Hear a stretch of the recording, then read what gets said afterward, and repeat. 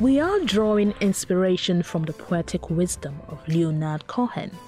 He says, There is a crack in everything. That's how the light gets in. Welcome to Mental Health Fitness on Africa Business Radio. I am your host, Chukunonso Modi. Now, in the realm of mental health, we often strive for perfection, forgetting that our vulnerabilities are cracks. They are not flaws, but they are openings for growth and healing. Now, Cohen's words invite us to embrace these imperfections, the fractures in our experiences, as gateways to illumination. As we navigate the twists and turns of our mental well being, let's remember that it is okay to have those moments of vulnerability.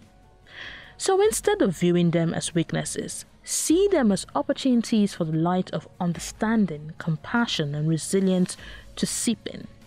So, take a moment to acknowledge your own cracks.